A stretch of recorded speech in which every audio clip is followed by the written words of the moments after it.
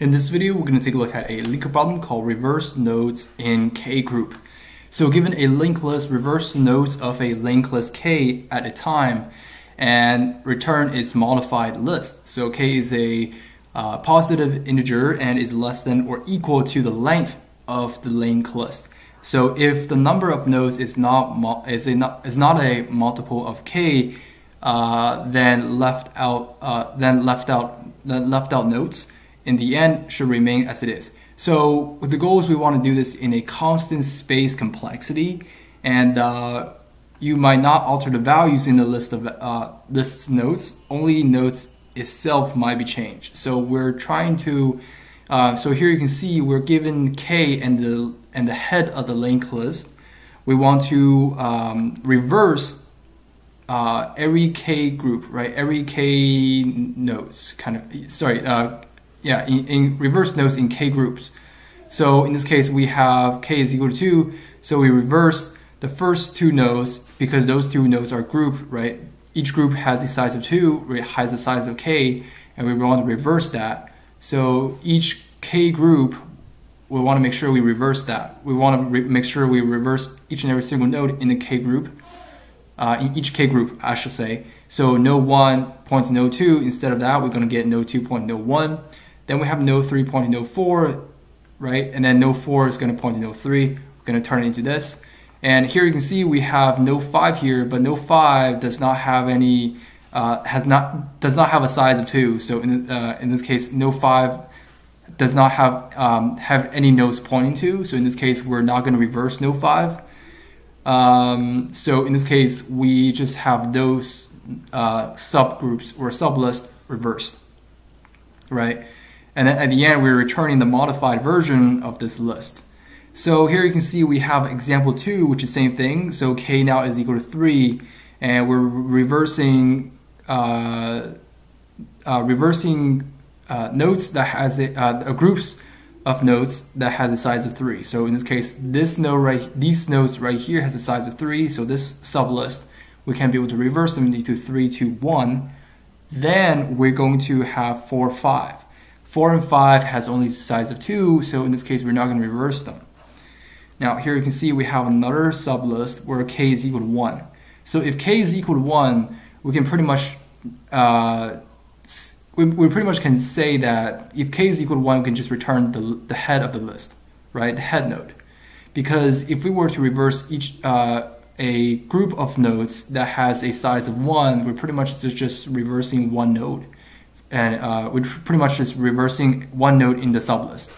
And if we were to reverse uh, a, a sublist that has only one node, we pretty much do not have to reverse anything. So in this case, we can just return the list.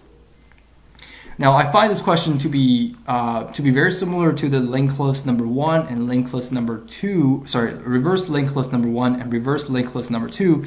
So if you're wondering how to solve this problem, I highly recommend to check out my other videos called uh, link uh, reverse linked list number one. So to, uh, LeetCode 206 and the other one is the uh, uh, reverse linked list number two. So I highly recommend to check out those two videos before checking out this video. So to do this in code, I will try to be more descriptive as I can. So basically first we're gonna define our base case, right? Our base case is that if k is equal to one, we can pretty much just return the head node, right? There's nothing to reverse there. Uh, if the if there's if so far if the linked list has only size of one, right? If head node.next is equal to null, we can also return the head. So it's the same base case that we had for reverse linked list number two. So then we're going to uh, basically define our um, our previous pointer as well. So define previous pointer and the current pointer, right? So then we can just start to traverse traverse the list, right? And then once we traverse the list, uh, we're going to make sure we reverse uh, nodes in K group. Once we've done that, we can just return the head node, right? So our first step is that we have our base case. So if head.next is equal to null, then we can just return head. And the reason why we don't we don't do head check to see if head is equal to null because here you can see the constraints. It says that number of nodes in this list is in range is is in range is in the range as z. So in this case, as z is bigger than or equal to 1, so we know that the list has at least one node. Now, then what we're going to do is we're going to see if k is equal to 0. I should say if k is equal to 1. If it is, we can just return head, right? So once we have our base case, we now have to define our previous pointer and the current pointer.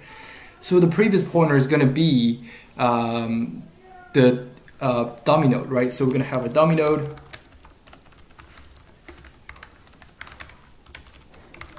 Okay, so we're going to get dummy dot next is equal to head. Then we're going to get the list node, uh, sorry, the previous node. Previous node is going to equal to dummy. And then we're going to have a current pointer, right? So the current pointer is going to equal to the head node. So once we have our previous pointer and the current pointer defined, now let's try to traverse our list, right? So what we're going to do is this. We're going to say while current does not equal to null. Okay, so while current node does not equal to null, uh, basically what we're going to do is we're going to um, first see if we have the space, right? We have the space to to reverse nodes in the K in the K group. Um, in this case, we're going to have a boolean, right? Check has space. So in this case, let's call it space actually. Is equal to check has space. Uh, it takes k as well as the previous pointer. We check to see if we have the space for us to traverse.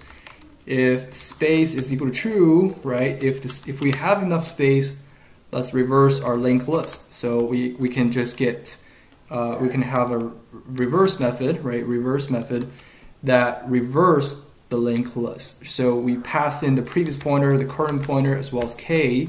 We re reverse the linked list. Uh, in this case, reverse k nodes, right? So k nodes, um, starting from the current node. And then we want to make sure after we reverse, we want to return the the node, right? The the I should say the um, the tail node. So in this case, we're going to get prev is equal to tail node, and then current, right? Current is equal to prev.next. Then we're going to continue, and let's say somehow we don't we do not have enough space.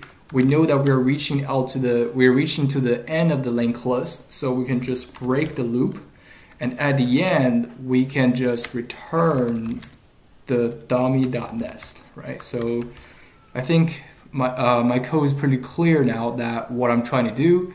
So now let's try to implement those two methods that we're talking about, right? So now let's first uh, implement this check has space method, right? So it takes integer k as well as a list node, so the, the list node. So now what we have to do is we have to iterate starting from um, 0 all the way to k times, right? Because we're standing from the previous pointer. Now the other way we can do this, we can actually just pass in the current pointer. And that way we can just um, iterate from, from 1 to k times, right? So in this case, we're going to say for integer um, i is equal to 1, 1 i is less than or equal to k, right? We just going to continue. We're going to get uh, if current, right? So if current is equal to null, we can just return false because that's, that basically tells us that there's not much space. Otherwise, we're going to get current is equal to current.next. Okay, we're going to continuously do that. If we found that there is a space, we can just return true, right? Now, then what we're going to do is we're going to implement the reverse method, reversing the sublist, right? So it returns a list node, and it takes a previous pointer as well as the current pointer and the k, right? So then what we're going to do is we're going to um, iterate k minus one time. Because let's say if we have a sublist that is that has three nodes, then there are total two connections that we have to remove. If a sublist has four nodes, we have total of three connections that we have to remove. So i is going to equal to 0, and uh, i is less than k minus 1, i plus plus, right? Um, yeah, so we're just going to have a next node, which is equal to current.next to save the uh, to save that node in a temporary variable. Then we're just going to get current.next, just like how I draw the diagram earlier. We're going to get a current.next, right, is going to equal to next.nest. Then we're going to get the, uh, because we know that there's a space, right, so we can safely say that next.nest, current.next is equal to next.nest, or current.next.nest, right? Doesn't matter how you say it, but basically what we're going to do is we're going to get next dot next is equal to pre dot next, And pre dot next is basically equal to uh, next. So we're going to continuously do that until we reverse the current sublist. Then at the end, we're going to return the current node, the current pointer, the node that the current pointer is pointing to, so that it basically tells us this is the node that we're going to get the previous pointer pointing to, and the current pointer is now going to be the previous next, right?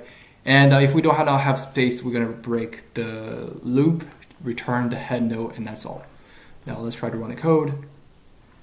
And uh, let's try to submit. And here you can see we have our success. So this is how we solve this LeetCode uh, reverse nodes in K group.